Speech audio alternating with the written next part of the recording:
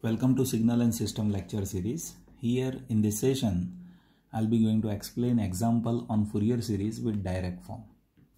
And to explain that, this is my question where question is find Fourier series coefficient for cos square t. And there are four options which is given to us. Now see, the basic way of calculation of Fourier series coefficient that is I have already explained it is what? An is equals to 1 by t integration. If I say 0 to t then it will be xt into e to the power minus j omega 0 n into t dt.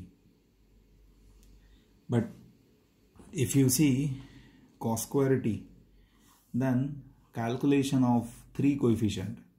So that will be very long way of calculation. So it will consume it will consume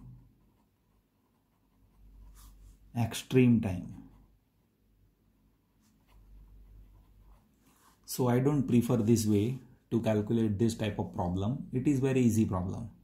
So how to do that? So for that see whenever you have abcd and if you see fourier series calculation then one should understand fourier series could be represented in this way you can have coefficient a and b n. You can have coefficient in terms of x of k. You can have coefficient in terms of del of k. So this might be the case which may be given to you to represent Fourier series coefficient. So here we have del of k way to represent Fourier series coefficient. So now all we need to do is we need to expand cos square t and we can compare that it with basic form. So if we expand cos square t then directly one can be able to calculate and compare coefficients and we can predict what is that answer in ABCD. So let us try to do that in this way. So I'll be expanding this cos square t in terms of exponential term first. So if I have cos square t then basically cos square t that is 1 plus cos 2t divided by 2 so we can say this is half plus half into cos 2t now see this cos 2t that we can represent further in exponential terms. So as we know this is what? Again e to the power j 2 t plus e to the power minus j 2 t by 2. So this expansion will be further deals with 1 by 2 plus 1 by 4 into e to the power j 2t plus 1 by 4 e to the power minus j 2t. Now we can see this is what in exponential term and we can represent that in terms of del of k.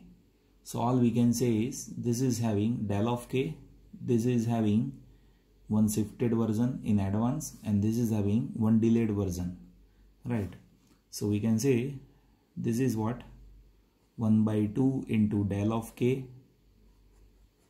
plus 1 by 4 into del of k plus 1 plus 1 by 4 into del of k minus 1. So this is even one way as I have told you we can represent this in terms of del or x of or a and b n. So here we have represent that in terms of del of impulse function. So if you observe this answer in ABCD then you will be finding the correct option is this C. So it is just a way to represent that so here first we need to expand given signal in terms of exponential signal and then we can represent that in sum of del function. So here I have represented that. I hope that you have understood this session. Thank you so much for watching this video. You can give your valuable suggestions. Definitely based on it in future, I'll be making videos which will be solving your queries. And you can download this material from my application and you can have quick review from there even and you can learn it online from my videos over here on youtube channel. Thank you so much